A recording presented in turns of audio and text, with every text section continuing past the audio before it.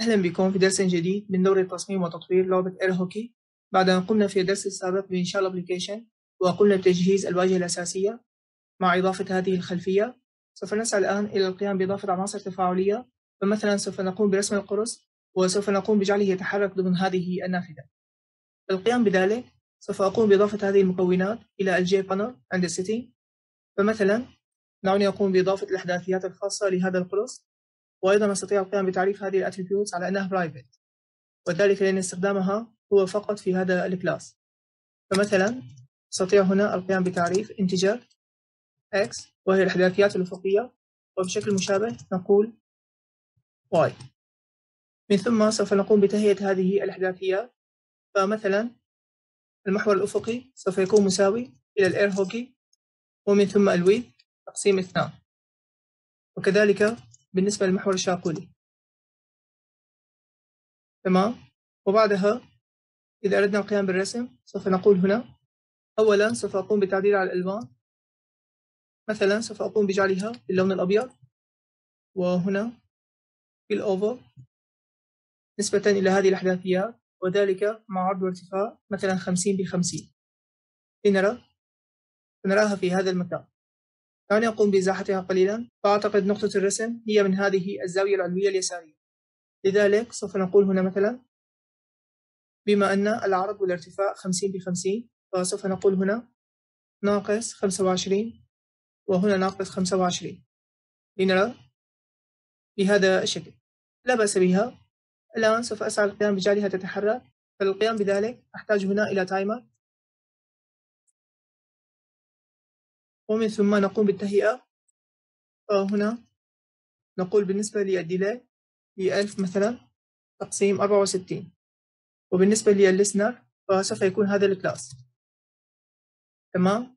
وهنا لحل هذه الإشكالية سوف أقوم بتعريف هذا ال class وارثا implement وذلك ل action listener لهذه ال interface. تمام. نرى كيف تم حل هذه المشكلة. ومن ثم سوف نقوم بوراثة ال abstract methods والتي هي ال action perform كما نراها هنا. بعدها بعد القيام بإنشاء ال timer سوف أقوم هنا بالتحريك.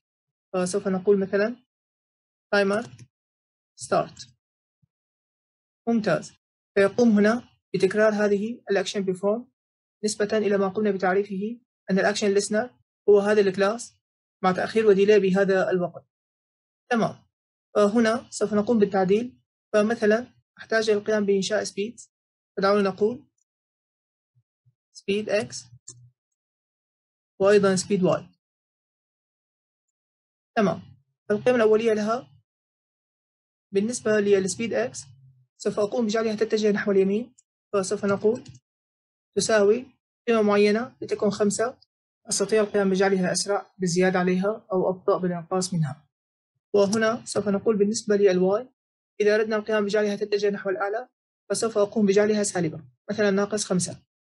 من ثم سوف نقول هنا قم بالتعديل على هذه الإحداثيات الخاصة بال disk ونقوم بإضافة إليها ال speed بهذا الشكل. تمام؟ لنرى. طبعا أحتاج القيام بالريبنت للرسم مرة ثانية. لنرى. بهذا الشكل. ممتاز. وإذا قمنا هنا بالتعديل مثلا أردنا القيام بجعلها تتجه نحو الأسفل. فجعلنا القيمة هنا موجبة لنرى بهذا الشكل. جيد جدا. الآن إذا أردنا القيام بجعلها محصورة فقط ضمن نافذة العرض في هذه الطاولة فسوف نقوم بإضافة بعض الشروط. مثلا قبل القيام هنا بالإضافة دعوني أقوم بالاختبار. فسوف نقول في حال كانت الإحداثيات على المحور الأفقي أصغر أو تساوي صفر أو إذا كانت مثلا أكبر أو تساوي العرض الخاص آخذا بعين الاعتبار أن الرسم يبدأ من الزاوية اليسارية العلوية. لذلك هنا سوف أقوم بطرح القيمة الخاصة بالعرض والتي هي خمسين. وهنا في حال كانت هذه الشروط محققة أي منها فسوف نقوم بالتعديل على هذه الإشارة ونقوم بضربها بناقص واحد. تمام. وبشكل مشابه سوف نقول هنا في حال كانت الواي أصغر أو تساوي صفر أو كانت أكبر أو تساوي الهاي ناقص خمسين. فقم هنا بالتعديل على إشارة ال y. لنرى فينبغي أن تنحصر ضمن هذه النافذة. بهذا الشكل. ممتاز.